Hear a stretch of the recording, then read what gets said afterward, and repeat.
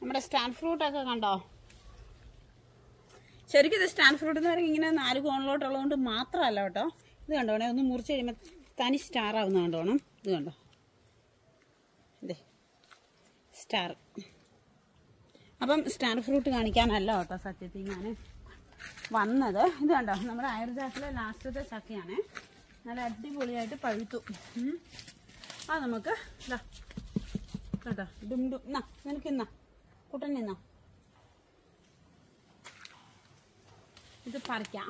എന്നിട്ട് മുറിച്ച് കാണിക്കാം ഞാൻ. ചക്കപ്പഴം എങ്ങനെ ഉണ്ടെന്ന് ലാസ്റ്റത്തെ കേട്ടോ ഇതിലെല്ലാം അടിയിലൊരു മൂന്നാലെണ്ണം ഉണ്ടായിരുന്നു ആദ്യം നമുക്ക്.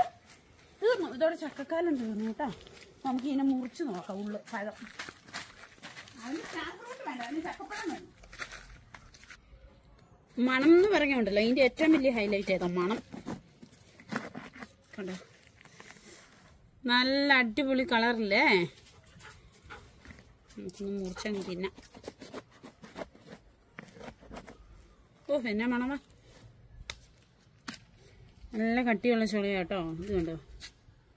ഇത് കണ്ടോ.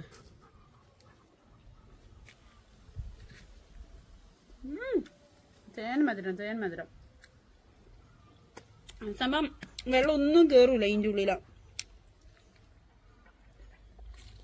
കൈ കഴിച്ചോട്ടെ നമ്മുടെ മൂക്ക്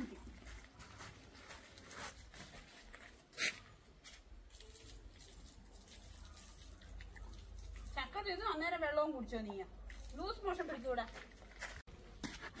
ഇപ്പൊ പിന്നെ ആർക്കും ചക്കപ്പഴത്തിനോടൊന്നും വലിയ താല്പര്യം ഉണ്ടാകുകയല്ല. കാരണം എല്ലായിടത്തും ചക്ക സീസൺ അല്ലേ? എനിക്ക് ഏത് കാലമായാലും ചക്ക എപ്പോൾ കിട്ടിയാലും എനിക്കിഷ്ടമാണ് കൊതിയുക ചക്ക ഇന്നാൻ എന്റെ ഒരു പ്രശ്നമാണ് ചക്ക എന്ന് പറഞ്ഞാൽ എനിക്കൊരു പ്രാന്ത് തന്നെയപ്പ ചക്ക പ്രാന്ത്. എന്റെ അമ്മ എപ്പോഴും പറയുവേ ചക്ക എന്നുമ്പോൾ നീ ഭയങ്കര തടി വെക്കുന്നത് ചക്ക സത്യം അത് ചക്കക്കാലത്ത് ഞാൻ നല്ല തടിച്ച് ആയിട്ട് വരും. ഇത് കണ്ടോ? അയ്യോ. ഒന്നും കൂടി എടുത്ത് കാണിക്കാവേ. ശരിക്കും ഇത് വല്ലാതെ ബിളിബിളാന്ന് പഴുത്തില്ല. ഈ ഒരു പരുവത്തില്ല. കണ്ടോ? കണ്ടോ? ഞാൻ ശരിക്കും ഇത് ഇങ്ങനെ തുറന്ന് മറ്റേ സൈനക്കാരൊക്കെ കാണിക്കുന്ന പോലെ കാണിക്കണമെന്ന് ഓർത്തു പക്ഷെ നടന്നില്ല. പാളിപ്പോയി.